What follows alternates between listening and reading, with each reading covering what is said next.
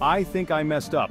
Why are we not diving deeper into the cracks of America's justice system, especially when big names like Donald Trump claim it's corrupt? Let's dig into the controversy surrounding America's justice system, particularly through the lens of former President Donald Trump's indictment. Critics argue that his case is a glaring example of political bias, potentially revealing a layer of corruption within our legal framework. Trump's legal battles have sparked a nationwide debate, is the justice system being manipulated for political gains? This isn't just about one man's court dates, it's a question that shakes the very foundations of American democracy. Supporters of Trump call this an unfair indictment, and see it as a misuse of power to silence a political opponent.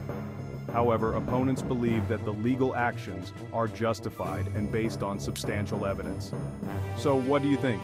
Is this a straightforward application of the law, or are we looking at a skewed justice system influenced by politics more than truth? Drop your thoughts in the comments below.